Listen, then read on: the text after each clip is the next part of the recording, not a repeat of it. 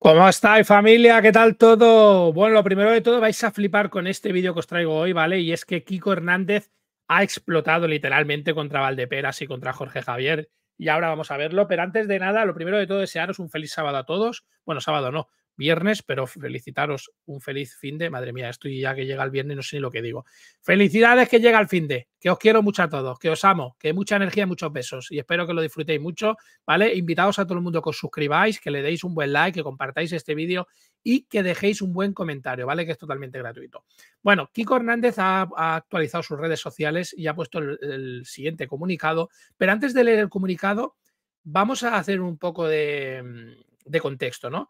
Hace escasamente una semana, eh, Jorge Javier dijo que a Kiko Hernández ni lo conocía, no lo reconocía, que no tenía relación con él, que no le emocionó para nada cuando anunció su homosexualidad, ¿no? Con, bueno, y su que su actual pareja Fran Antón, y no asistió a la boda, ¿vale? No fue a la boda. De hecho, fueron muchos compañeros de Sálvame que no fueron a la boda ni asistieron a la boda, ¿no? Entre ellos su gran hermana Rocío Carrasco, su gran amigo Jorge Javier o su intimísima amiga Belén Esteban, que prefirieron hacer otras cosas que estar con él en la boda. Entonces Jorge Javier dejó pincelada de que entre él y Kiko no hay buena relación y que nunca había buena relación, que todo ha sido muy superficial, ¿no? Que no había nada de cariño real.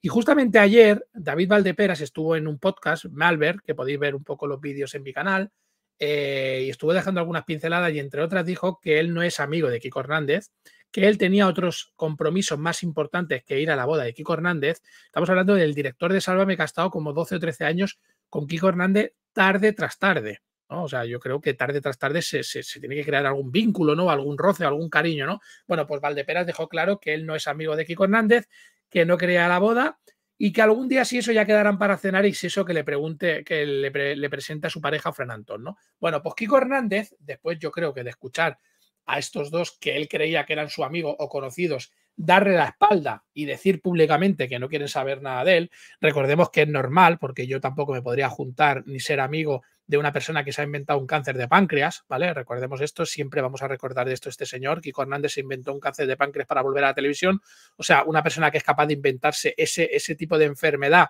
con la que mucha gente está luchando o con la que mucha gente ha fallecido, pues ya me dices tú la clase de persona que es. Bueno, pues este señor ha explotado en sus redes sociales y ha puesto lo siguiente, ¿no? Vamos a leer. Dice, muchos de los que antes me lamían el trasero, ahora se dedican a criticarme. Eso sí, por lo bajo y a escondidas. ¿no? Yo creo que esto va un poco, como digo, por estas dos personas, porque eh, en los últimos días están poniendo en el foco con Kiko Hernández y bueno, están reconociendo poco más que no han tenido nunca relación con él ni la quieren tener, ¿no? Y luego pone abajo, ¿no? Lo que les jode es que soy terriblemente feliz y eso no lo soportan. Lo siento, porque no tengo más tiempo que dedicaros. ¿Vale? Bueno, este es el mensaje que lanza Kiko Hernández en sus redes sociales. Yo para mí va, mm, sobre todo, fíjate que Kiko Hernández no es un tío que se, que se prodiga mucho por redes sociales, ni conteste nunca los haters ni nada. Y ha sido justo estos últimos 10 días que ha saltado Jorge Javier para negar que tenga ningún tipo de relación con él de amistad y sobre todo, ayer justamente eh, David Valdeperas, ¿no? Eh, hablando y diciendo que con este señor pues no tiene relación, porque hay un momento que el presentador le pregunta ya, pero si es tu amigo, dice ya, pero es que en ningún momento he dicho que sea mi amigo, ¿no? Entonces, pues deja caer que no son amigos y que no tienen relación y que no va a su boda porque no le interesa para nada a este señor, ¿no? Y aquí Kiko Hernández, pues dice que todos los que antes le lamían el trasero ahora lo critican, ¿no? Como diciendo antes, jajaja, jiji, el plato de Sálvame, tú eres muy importante, Kiko Hernández, eres un pilar muy importante, eres un ídolo, eres el tertuliano estrella, junto con Kiko, con María Patiño, po, po, po, po, y luego, pues, a la que pueden en un podcast o algo, pues le dan la espalda, ¿no? Eso es lo que da a entender en este escrito, ¿no? Decidme en comentarios qué pensáis sobre esto, ¿vale? Yo creo que va por ellos dos.